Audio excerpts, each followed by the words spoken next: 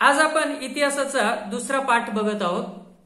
भारत एकोणावीसशे साठ नंतरच्या घडामोडी. तर सर्वसाधारणपणे एकोणावीसशे सत्तेचाळीस साली भारताला स्वातंत्र्य मिळालं. त्यानंतर एकोणावीसशे पन्नासपासून आपण आपल्या संविधानाप्रमाणे राज्यकारभार करायला सुरुवात केली. तर एकोणावीसशे साठच्या दशकानंतर भारतामध्ये काय प्रामुख्याने घडामोडी झाल्या? त्याविषयीचा अभ्यास आपल्याला या पाठामध्ये करायचा आहे. तर सुरुवात करूया. इसवी सन एकोणावीसशे सत्तेचाळीसमध्ये भारत स्वतंत्र झाला. एकोणावीसशे पन्नासमध्ये संविधानाचा स्वीकार करत भारताचे सार्वभौम लोकशाही राष्ट्र निर्माण झाले.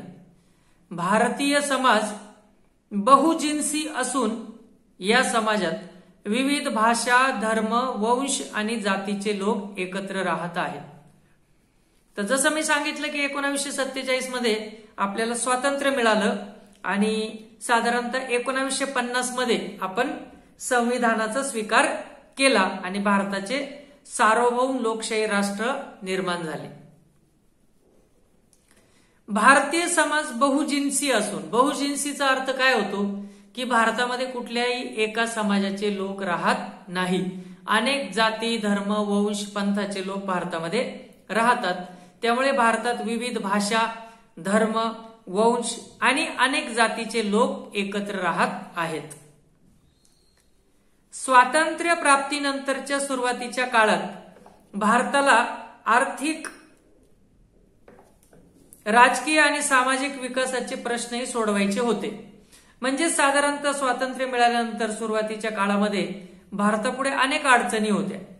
आर्थिक अडचणी होत्या म्हणजे पैशाची चणचण राजकीय अर्थव्यवस्था राजकीय परिस्थिती अजून तितकी चांगली झालेली नव्हती. आपण पहिल्यांदाच आपल्या संविधानाप्रमाणे कारभार करायला सुरुवात केली होती. नंतर राजकीय आणि सामाजिक विकासाचे प्रश्न सुद्धा सोडवायचे होते. नियोजन आयोगाची निर्मिती आणि औद्योगिकीकरणावर भर हा आर्थिक विकास साधण्याचा व देशातील दारिद्र्याची समस्या दूर करण्याचा एक मार्ग म्हणून स्वीकारण्यात आला. मग नियोजन आयोगाची निर्मिती.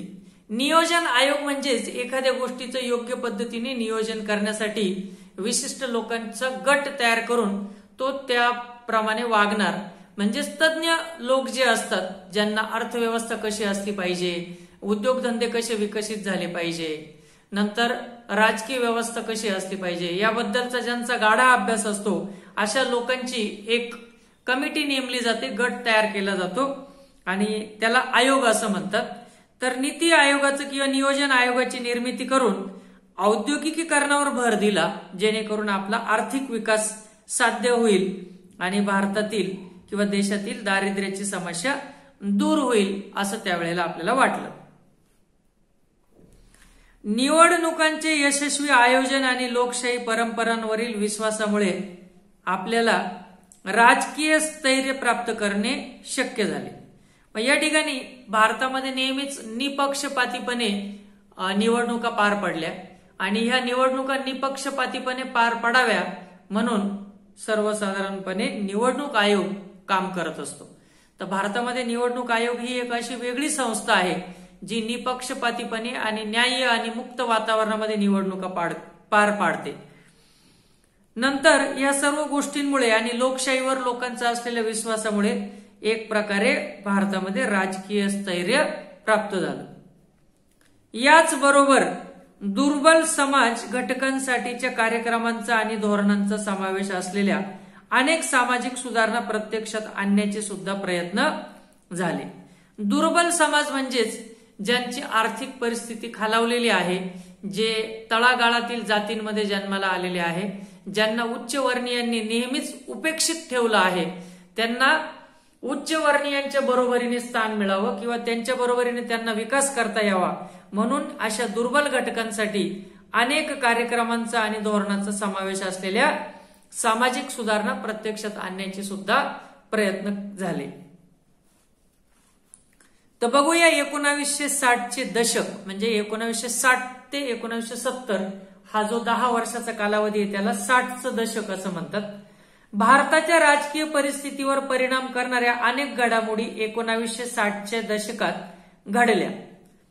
पोर्तुगीजांच्या राजवटीखाली असलेल्या गोवा दमन आणि दीव या प्रदेशांची मुक्तता झाली व ते भारतीय संघराज्याचे भाग बनले. मग या साठच्या दशकामध्ये अनेक राजकीय परिस्थितीवर परिणाम करणाऱ्या घटना भारतामध्ये घडल्या. तर आपल्याला जरी एकोणावीसशे सत्तेचाळीसला स्वातंत्र्य मिळालं तरी भारताचं गोवा राज्य मात्र अजूनही पोर्तुगीजांच्या गुलामगिरीमध्ये होतं. तर साधारणतः साठच्या दशकामध्ये त्याला मुक्ती मिळाली. एकोणीसशे एकसष्टला गोवा गोव्याला मुक्ती मिळाली. आणि गोवा दमन दीव या प्रदेशांची पोर्तुगीजांच्या राजवटीतून मुक्तता होऊन ते सुद्धा भारतीय संघराज्याचा भाग बनले. उत्तरेकडील सीमारेषेवर भारत आणि चीन यांच्यातील तणाव एकोणावीसशे पन्नासपासून वाढत होता. या तणावांची परिणती अखेर दोन्ही देशांमधील सीमारेषा युद्धात झाली आणि हे युद्ध मॅकमोहन रेषेच्या क्षेत्रात झाले. एकोणावीसशे बासष्ट लढलं गेलेलं युद्ध आहे भारत आणि चीनमध्ये. तर मॅकमोहन रेषेच्या क्षेत्रामध्ये जिथे भारत आणि चीन यांचा सीमारेषेवरून वादविवाद होता तर एकोणविशे पन्नासपासून हा तणाव पुढे वाढत जाऊन एकोणावीसशे बासष्ट साली दोन्ही देशांमध्ये त्या सीमारेषेवरून युद्ध झालं. भारताला स्वातंत्र्य मिळाल्यानंतरच्या काळात प्रधानमंत्री पंडित जवाहरलाल नेहरूंनी भारताचे नेतृत्व केले. आता आपल्याला माहिती आहे की स्वतंत्र भारताचे पहिले पंतप्रधान पंडित जवाहरलाल नेहरूच बनले होते. आणि पुढे त्यांनी जवळजवळ एकोणीसशे चौसष्ट साली ते वारले तोपर्यंत तेच पंतप्रधान किंवा प्रधानमंत्री म्हणून काम पाहत होते. ते भारताच्या परराष्ट्र धोरणाचे शिल्पकार होते. भारताच्या सामाजिक आर्थिक विकासात त्यांनी घातलेली भर अत्यंत मोलाची आहे. तर भारताचं परराष्ट्र धोरण कसं असलं पाहिजे याबद्दल सुद्धा पंडित जवाहरलाल नेहरूंनी अतिशय महत्वाची भूमिका पार पाडली. एकोणावीसशे चौसष्टमध्ये भारताचे प्रधानमंत्री पंडित नेहरू यांचे निधन झाले. त्यानंतर लालबहादूर शास्त्री भारताचे प्रधानमंत्री झाले. नेहरूंनंतर पुढचे प्रधानमंत्री म्हणजेच लालबहादूर शास्त्री. त्यांच्या कारकिर्दीमध्ये एकोणीसशे पासष्टमध्ये भारत आणि पाकिस्तान यांच्यामध्ये काश्मीर प्रश्नावरून पुन्हा एक युद्ध झाले. सोव्हिएट युनियनने दोन्ही देशात मध्यस्थी करण्याचा प्रयत्न केला.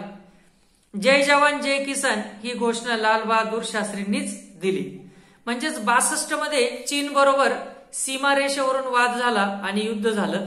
आणि पुढे काश्मीर प्रश्नावरून पासष्ट साली एकोणीसशे पासष्ट साली भारत पाकिस्तान यांच्यामध्ये वाद झाला. आणि त्यावेळेला लालबहादूर शास्त्री यांनी जय जवान जय किसान ही घोषणा दिली होती. परंतु सोव्हिएट युनियन म्हणजे त्यावेळेचा जो काही रशियाचा भाग होता किंवा संपूर्ण रशिया जो आता दहा वेगवेगळ्या देशांमध्ये विभाग विभाजित झालेला आहे एकोणावीसशे पंच्याण्णव साली. परंतु जेव्हा हे भारत पाकिस्तान युद्ध झालं तेव्हा संपूर्ण रशिया हा सोव्हिएट रशिया म्हणून प्रसिद्ध होता. तर त्यांनी मध्यस्थी केली. त्याद्वारे त्यांनी भारतीय शेतकरी व भारतीय सैनिक यांचे महत्त्व अधोरेखित केले. एकोणावीसशे सहासष्टमध्ये ताशकंद येथे येथे लालबहादूर शास्त्रींचे निधन झाले. आणि मग या कराराच्या संदर्भातच वाटाघाटी करण्यासाठी ताशकंद हे सोव्हिएट रशियामध्ये असलेलं एक शहर आहे. तर त्या शहरामध्येच तिथे गेल्यावर त्यांना हार्ट अटॅक आला किंवा काय झालं. काय आजपर्यंत ते एक मिस्ट्रीच आहे किंवा गुपित राहिलं असं म्हणावं लागेल. परंतु ताशकंद येथे एकोणीसशे सहासष्ट साली लालबहादूर शास्त्रींचं निधन झालं. नंतर एकोणीसशे सहासष्टमध्ये श्रीमती इंदिरा गांधी भारताच्या प्रधानमंत्री झाल्या. त्यांच्या कारकिर्दीत पाकिस्तानचे पूर्व पाकिस्तानच्या संदर्भातील दडपशाहीचे धोरण पूर्व पाकिस्तानमध्ये मोठे आंदोलन निर्माण करण्यास कारणीभूत ठरले. आणि लाल बहादूर शास्त्रींच्या निधनानंतर पुढे इंदिरा गांधी भारताच्या पंतप्रधान झाल्या. आणि त्यांच्या काळामध्ये आज आपण ज्याला बांगलादेश म्हणतो तो पूर्व पाकिस्तान असं म्हणून संबोधला जायचा. आणि तो पाकिस्तानचाच एक भाग होता. परंतु मुख्य पाकिस्तान या बांगलादेशाला म्हणजे पूर्व पाकिस्तानला अतिशय तुच्छतेची आणि त्यांच्या विकासाचा अजिबात विकास न करणारी वागणूक देत होता. आणि त्यामुळे त्या ठिकाणी दडपशाहीचं धोरण निर्माण होऊन पाकिस्तानामध्ये मोठे आंदोलन निर्माण झाले. या आंदोलनाचे नेतृत्व शेख मुजीबुर रेहमान यांच्या मुक्ती वाहिनीने केले. पूर्व पाकिस्तानच्या या समस्येचा परिणाम भारतावरही झाला कारण कोट्यवधी निर्वासित तेथून भारतामध्ये आले. मग या ठिकाणी जेव्हा पूर्व पाकिस्तानची म्हणजे आजच्या बांगलादेशाची निर्मिती झाली त्याचे परिणाम भारताला सुद्धा भोगावे लागले. त्यावेळी इंदिरा गांधीने पूर्व पाकिस्तानला म्हणजेच आजच्या बांगलादेशला मदत करून त्यांना पाकिस्तानातून वेगळं केलं. परंतु त्यावेळी बांगलादेशातून अनेक निर्वासित भारतात आले. निर्वासित म्हणजे दुसऱ्या देशातून या देशामध्ये आलेले लोक त्यांना निर्वासित असं म्हणतात. नंतर पुढे एकोणावीसशे सत्तरचं दशक बघू. साधारणतः सत्तर ते ऐंशीचा जो दहा वर्षाचा कालावधी त्याला सत्तरचं दशक असं म्हणतात. एकोणावीसशे एकाहत्तरमध्ये भारत आणि पाकिस्तान यांच्यात युद्ध झाले व त्याची परिणती स्वतंत्र बांगलादेशाच्या निर्मितीत झाली. मग पुढे पासष्ट नंतर इंदिरा गांधीच्या कालावधीमध्ये एकोणावीसशे एकाहत्तरमध्ये भारत पाकिस्तान युद्ध झालं आणि त्याचा परिणाम असा झाला की बांगलादेश या स्वतंत्र देशाची निर्मिती झाली. म्हणजे जो पूर्व पाकिस्तान आपण म्हणत होतो त्याला आता बांगलादेश असं नाव मिळालं आणि तो स्वतंत्र देश झाला पाकिस्तानपेक्षा. शांततेच्या कारणासाठी अणुऊर्जेचा वापर करण्याच्या आपल्या धोरणाचा एक भाग म्हणून भारताने एकोणावीसशे चौऱ्याहत्तरमध्ये राजस्थान येथील पोखरण येथे जमिनी अंतर्गत यशस्वी अणु चाचणी केली. तर भारताने नेहमीच शांततेच्या मार्गाचा अवलंब केला आहे परंतु अणुबॉम्ब किती महा विनाशक असतो विनाशकारी असतो हे दुसऱ्या महायुद्धाची शेवटी शेवटी देशाने किंवा जगाने पाहिलं होतं. जपानच्या हिरोशिमा आणि नागासाकी या दोन शहरावर अमेरिकेने अणुबॉम्ब टाकला तेव्हा प्रचंड मानवानी वित्तहानी झाली. मग तेव्हापासून असं ठरलं की अणुऊर्जेचा वापर हा नेहमी शांततेच्या कारणासाठी आणि जगाच्या किंवा देशाच्या कल्याणासाठी केला पाहिजे. मग त्या दृष्टीने भारताने एकोणीसशे चौऱ्याहत्तर साली राजस्थान येथील पोखरणमध्ये जमिनी अंतर्गत अणुचाचणी केली. एकोणावीसशे पंच्याहत्तरमध्ये सिक्कीमच्या जनतेने भारतीय संघ राज्यात सामील होण्याच्या बाजूने मतदान केले आणि त्यानुसार सिक्कीमला भारतीय संघ राज्यात राज्याचा दर्जा मिळाला. मग पंच्याहत्तर सालापर्यंत सिक्कीम हा एक वेगळा भाग होता. नंतर सिक्कीमने सांगितलं की आम्हाला भारतीय गणराज्यामध्ये किंवा संघ राज्यात सामील व्हायचंय. त्या दृष्टीने त्यांनी मतदान केलं आणि सिक्कीम सुद्धा मग पुढे भारतीय संघ राज्याचा भाग बनला. या दशकात भारतातील राजकीय परिस्थिती अस्थिर झाली. आणि एकोणीसशे चौऱ्याहत्तरमध्ये श्रीमती इंदिरा गांधी यांनी निवडणुकीतील प्रचारात राजकीय यंत्रणेचा गैरवापर केल्याचा अलाहाबाद उच्च न्यायालयाने निकाल दिला. आणि या विरोधात देशव्यापी संप झाला आणि निषेध झाला.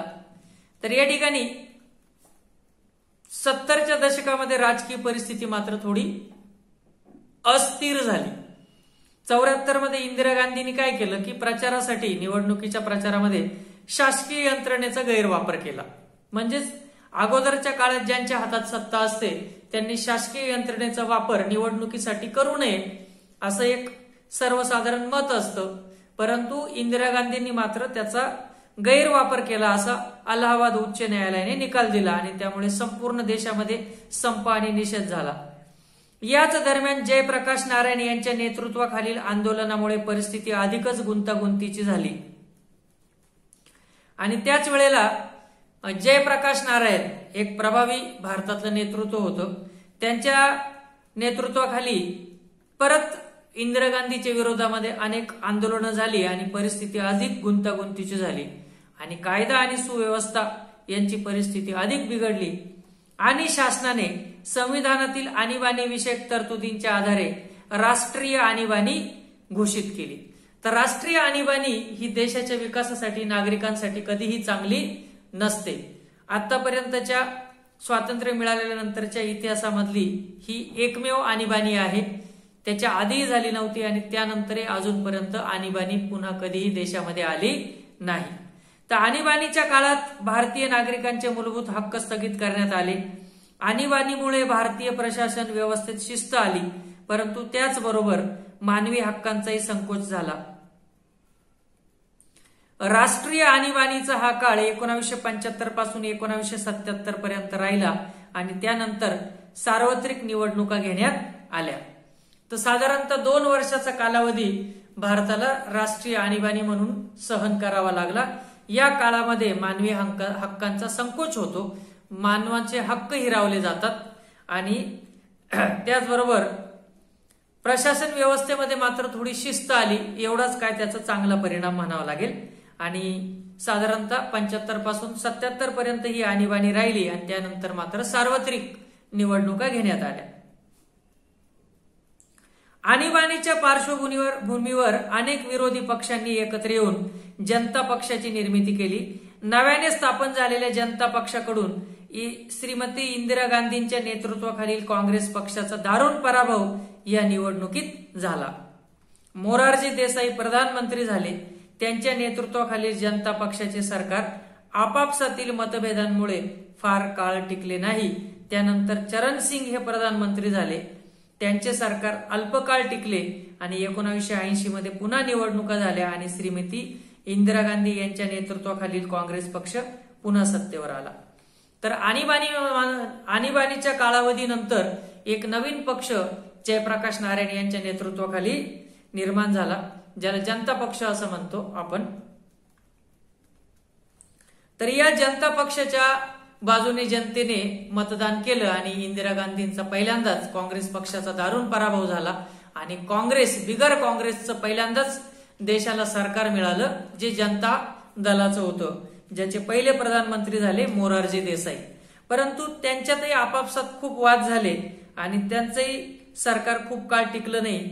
मोरारजी देसाई नंतर चरणसिंग प्रधानमंत्री झाले.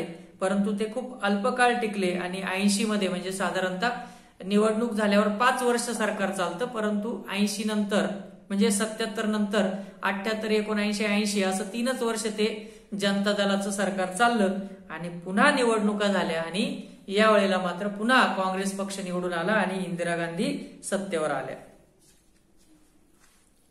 नंतर एकोणावीसशे ऐंशीचं दशक म्हणजे सत्तर ते ऐंशीचा कालावधी.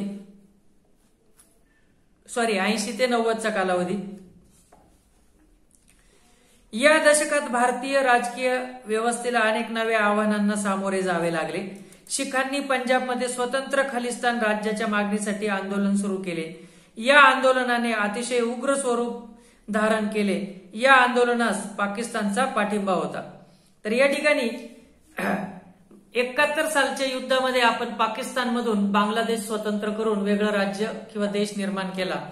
म्हणून पाकिस्तानची इच्छा होती की भारताचे सुद्धा तुकडे झाले पाहिजे आणि पंजाबमध्ये स्वतंत्र खलिस्तानचा देश आम्हाला पाहिजे म्हणून पंजाबी लोकांनी शीख लोकांनी आंदोलन सुरू झालं केलं. आणि या आंदोलनाचं स्वरूप अतिशय उग्र बनलं. खास करून या आंदोलनाला पाकिस्तानचा खूप पाठिंबा होता. एकोणावीसशे चौऱ्याऐंशी मध्ये अमृतसर येथील सुवर्ण मंदिरात आश्रय घेतलेल्या अतिरेक्यांना बाहेर काढण्यासाठी भारतीय लष्कर पाठवावे लागले. आणि अमृतसरला सुवर्ण मंदिर आहे शिखांचं. तर ह्या सुवर्ण मंदिरामध्ये अतिरेकी लपून बसले.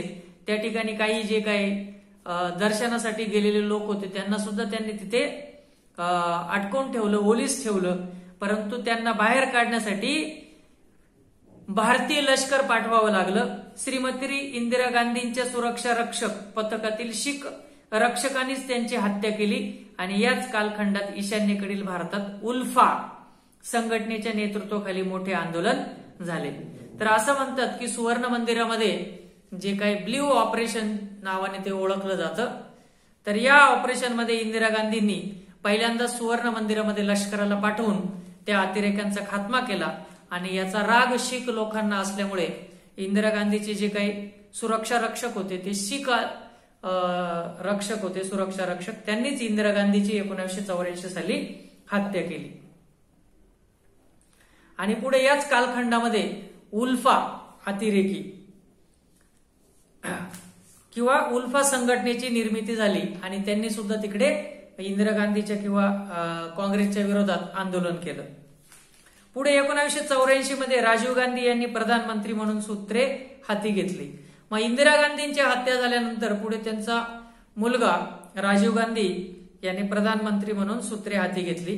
त्यांनी भारताच्या अर्थव्यवस्थेत आणि विज्ञान व तंत्रज्ञानाच्या क्षेत्रात अनेक सुधारणा घडवून आणण्याचा प्रयत्न केला.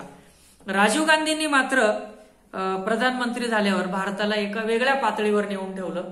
विज्ञान आणि तंत्रज्ञानामध्ये त्यांनी अनेक सुधारणा केल्या. श्रीलंकेतील तमिळ अल्पसंख्याकांच्या समस्या सोडविण्यात राजीव गांधींनी पुढाकार घेतला. तमिळ समुदायाला देशांतर्गत स्वायत्तता देऊन एकसंघ श्रीलंकेच्या कल्पनेला त्यांनी पाठिंबा दिला होता. परंतु त्यांच्या या संदर्भातील प्रयत्नांना यश आले नाही.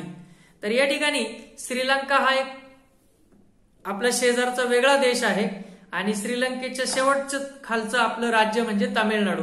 तर या ठिकाणचे बरेचसे तामिळी लोक श्रीलंकेत सुद्धा जाऊन राहिले. तर त्या ठिकाणी त्यांचा वेगळा तमिळ इलाका होता. तर त्यावरून श्रीलंकेमध्ये सुद्धा खूप आंदोलन झालं. यामध्ये खास करून राजीव गांधींनी श्रीलंकेच्या बाजूने पाठिंबा दिला. याचा राग तामिळी लोकांना येऊन पुढे राजीव गांधींची सुद्धा हत्या झाली. संरक्षण सामग्री आणि विशेषतः बोफोर्स कंपनीकडून लांब पल्ल्याच्या तोफा खरेदी संदर्भात झालेल्या भ्रष्टाचाराच्या प्रकरणात त्यांच्यावर बरीच टीका झाली. राजकीय भ्रष्टाचार हा या काळातील निवडणुकांचा एक महत्त्वाचा मुद्दा बनला आणि या सार्वत्रिक निवडणुकीत काँग्रेस पक्षाचा पराभव झाला. यानंतर विविध पक्ष एकत्र येऊन जनता दलाचे विश्वनाथ प्रताप सिंग ज्यांना आपण व्हीपी सिंग नावाने ओळखतो यांचे सरकार आले आणि ते भारताचे प्रधानमंत्री झाले.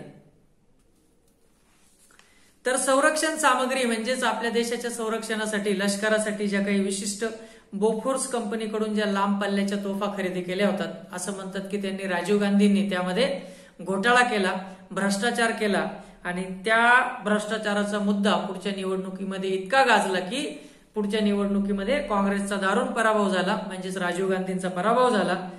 जनता दल इतर पक्षांना एकत्र येऊन व्हीपी सिंग म्हणजे विश्वनाथ प्रताप सिंग यांचं सरकार आलं आणि ते प्रधानमंत्री झाले. इतर मागासवर्गीयांसाठीचे आरक्षण धोरण हे त्यांचे सर्वात महत्त्वाचे योगदान मानले जाते. पक्षातील अंतर्गत वादविवादामुळे ते फार काळ प्रधानमंत्री पदावर राहू शकले नाही. आणि एकोणावीसशे नव्वदमध्ये चंद्रशेखर भारताचे प्रधानमंत्री झाले. त्यांचेही सरकार अल्पकाळ टिकले. आणि एकोणावीसशे एक्क्याण्णवमध्ये निवडणूक प्रचारादरम्यान श्रीलंकेतील लिट्टे म्हणजे L T T E liberation tiger of Tamil Eelam liberation tigers of Tamil इलम म्हणजेच तमिळ प्रदेशातील मुक्त करणारी तमिळी वाघांची संघटना असं आपण त्याला म्हणू शकतो. तर अशा श्रीलंकेतील लिट्टे या संघटनेने राजीव गांधींची हत्या केली. मग पुढे एकोणावीसशे एक्क्याण्णवमध्ये राजीव गांधींची सुद्धा हत्या झाली.